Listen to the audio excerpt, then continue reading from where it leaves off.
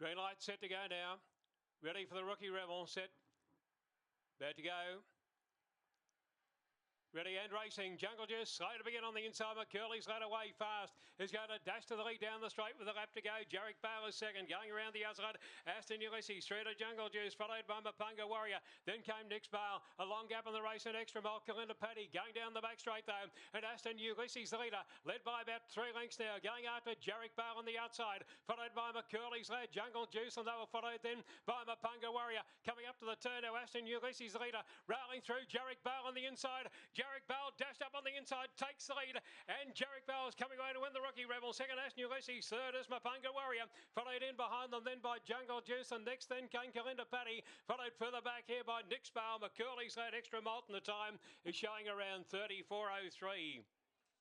Three, six, and four. Jarek Bale for Mark Delbridge has taken it out. He lobbed into a beautiful position early, and although we had a strong dog in front, Aston Ulysses, the depth of Jarek Bale in recent times has been something to behold. His performance to take out the Maidment Memorial at Sandown a few runs ago was one of the best wins I think I've ever seen, let alone this year.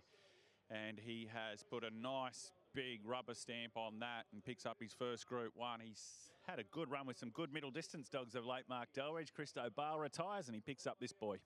Yeah, a bit of a uh, Christo Bale-esque type, isn't he? Uh, yep. Certainly performs very well, very strong, suited to the middle trip, uh, has speed and strength, which helps him immensely. McCooley's lad led, looked really exciting at that point when we saw uh, him get in front, thought, well, what can this greyhound run in time? That we then saw Aston Ulysses step up and take the lead, and uh, off its form recently when it ran behind in the, in the uh, Horsham Cup, sorry, Horsham race, where they run the track record, clearly in great form, but what a race that was, Wiz. Certainly was. Let's get to patch. Thanks, Wiz, with Mark Delbridge. And Mark, he's a superstar. I think we can say now he's been massive for months, and tonight, will be the best performance of his career. How good was that? Yeah, it was terrific. Um, like he didn't get out too bad, and then um, when he was oh, seconds coming through here, I thought, oh, I've got every chance. But then the six um, went up on the outside, but as I said, he still proved to be strong, stronger than the six, and that was it. You had Dinah Dean win a Group 1 here over 600 metres. You've had Christo Bale do what he's done over the past couple of years. Jarek Bale, see the best you've had now? Oh, he's getting close to, yeah. Chris, Christo, Chris, uh, Christo's been the best, but as I said, yeah, this, this bloke's not far behind.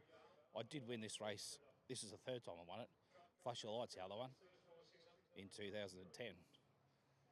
So big performance from your team and... Yes. Guess everyone at home is Lisa here tonight. Miles, yeah, they'll be up and about. Yeah, they're both. Yeah, Lisa and Miles are here.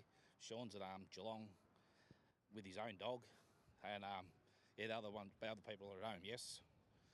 A big party tonight. Congratulations. Good job. All right, thank you.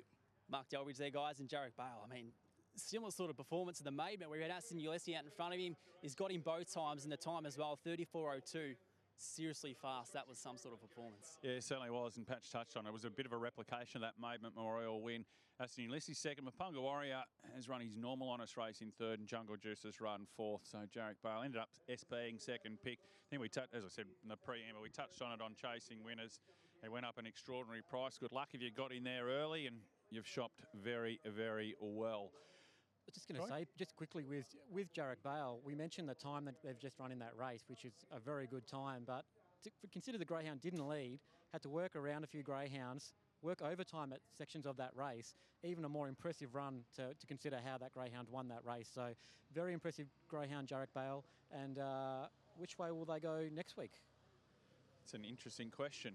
Um, it's a very, very interesting question there'd be every chance they may freshen him up and dropping him back, drop him back for the Australian Cup the way he's going.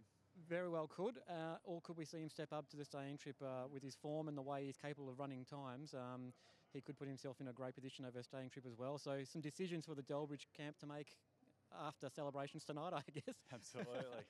um, all right did they go? 3402, 881, 2175, 3402. So that's everything you need there for the Meadows. When Wenny's next race number seven, and this is the third leg of your quaddy. So we'll link back in uh, here at the Meadows. Spring Patriot.